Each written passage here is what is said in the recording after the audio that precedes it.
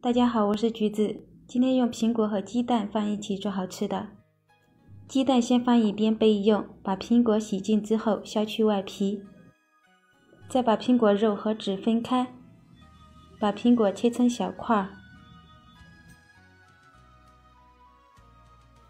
把切好的苹果放在盘子中备用。三个鸡蛋打入到碗中。加入少许的白醋去腥，用筷子搅散，把鸡蛋液倒在苹果里面，然后放在榨汁机中，盖上盖子，选择果蔬键，把它打成汁。趁着打汁的时间，我们准备两勺面粉放在盆中，这个面粉的量大概是四百克左右。然后加四克酵母，四克白糖，把榨好的苹果汁一点一点的加入到面粉里面，一边倒一边用筷子搅拌，搅拌成像这种大面絮状，然后加入十毫升的油，下手揉成面团。因为苹果和鸡蛋的大小都不一样，所以我们这里面粉要适量的增减，面粉的软硬度适中就可以，像这样子就可以了。然后盖上盖子，密封醒发至两倍大。醒发好的面团就是这样子的。然后在中间按下一个小坑，准备半碗蔓越莓干，也或者是葡萄干，把它倒进盆里，用手反复的揉搓，排一下里面的空气，也顺便把蔓越莓和面团揉搓在一起。大概揉搓五分钟之后，把面团放在案板上，整理成长条，再下均匀的剂子。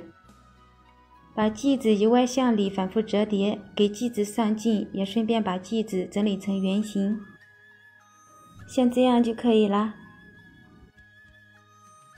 全部整理好之后，我们准备一个面包的模具，里面刷上一层油，边缘也要刷上油，这样容易脱模。把剂子均匀的摆在里面，盖上盖子，再次醒发至两倍大，醒发到这样就可以了。体积会明显的变大、变轻，变得胖乎乎的。我们再准备一个蛋黄放在碗中，用刷子把它搅散，均匀的刷在剂子的上面。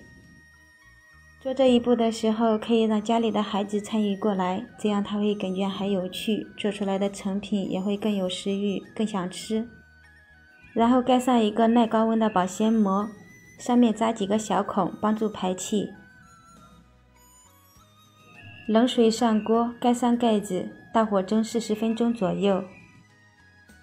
蒸好之后焖五分钟，再打开盖子，热胀冷缩的原理，避免塌陷。把它取出来，脱去上面的保鲜膜。哇，真的太香了！按压一下看看，非常的蓬松暄软。这个做法是面包和馒头的结合。家里孩子想吃面包又懒得动手的朋友，可以试一下这个做法。用苹果来和面，里面有浓浓的清香味，闻着就非常的有食欲，非常的诱人。面粉这样做比面包要简单，比馒头还要好吃。掰开一块给大家看一下，还有拉丝的效果呢。每次这样做不用炒菜，我家孩子都能够吃光盘，真的美味又营养。自己在家做的还干净卫生，没有任何的添加剂。如果你喜欢，也试试做吧。